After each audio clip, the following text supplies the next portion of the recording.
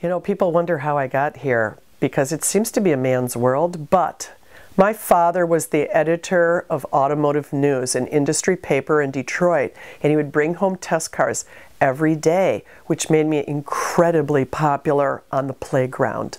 All the boys wanted to talk to me about the car that had no steering wheel that you drove with your thumbs or the brand new Avanti. So from there, I was an exchange student in Ecuador when I was 14 and learned how to drive in the Andes Mountains in this little Toyota Jeep-like vehicle where they measure driver error with small white crosses. So I learned very quickly how to drive well. When I got back um, in high school, I would date anyone who would let me drive his car and I drove everywhere 100 miles an hour because it sounded like a nice round number. Um, from there, and of course my dad had a station wagon because we had a big family, but it had a big engine and that's where I learned how to sneak out, drive across the state to Ann Arbor where all the hippies were, 100 miles an hour there and back which gave me my love of speed. So I, I couldn't concentrate in college. Uh, so I dropped out and bought a car and turned it into a taxi cab. Yes, I did. I did that because I thought I was a great driver.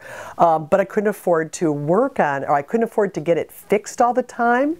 So I had to teach myself how to work on it with like a big mechanic's manual and it was very painful but I slowly learned how to do everything on this car.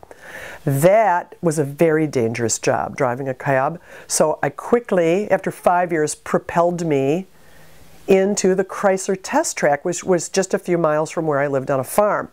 And there um, the government made Chrysler hire women because they didn't have any women that weren't secretaries or in food service. So they made them hire women. I got in on that wave and we test drove cars 400 miles a day and um, I think they threw away the reports. There was no room for advancement. The minute I figured that out, I transferred to be a mechanic and the only place that would have me there was the impact lab where a mechanic doesn't fix things, they smash cars into walls. And I will tell you, that could be the best job I've ever had in my life. Smashing Imperial into the wall at 30 miles an hour, wonderful. I used big belt sanders, welders, socket wrenches, and um, from there, I got laid off. And that brings me immediately to what I do now. 30 years ago, Car and Driver thought I was hilarious and hired me. The editor of Car and Driver hired me to, to kind of mess with the guys there. And I became a journalist suddenly overnight. And 30 years later, I've been, I did five years at Car and Driver.